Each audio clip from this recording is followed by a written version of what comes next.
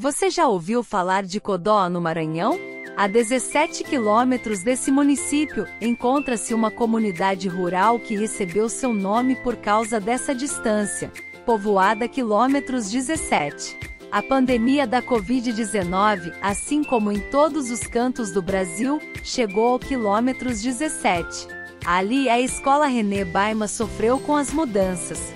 A distância de casa até a escola para buscar as tarefas, a internet que falha, a saudade dos encontros e das conversas, a dificuldade que muitos pais enfrentavam para apoiar a educação dos filhos na pandemia.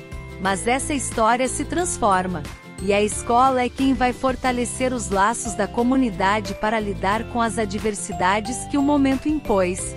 A supervisora escolar da René Baima se chama Leide. Ela e seus colegas conseguiram transformar o sentimento de impotência que muitas vezes as dificuldades nos trazem. Criaram o projeto AVEC, as vozes da educação do campo em tempos de pandemia. Ele trouxe um potencial transformador ao mobilizar toda a comunidade escolar. Teve professor dando plantão para auxiliar os alunos.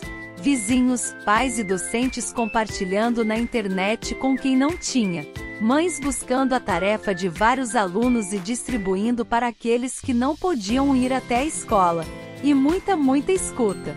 Por vídeos, áudios, textos. Está aí um exemplo de escola cidadã.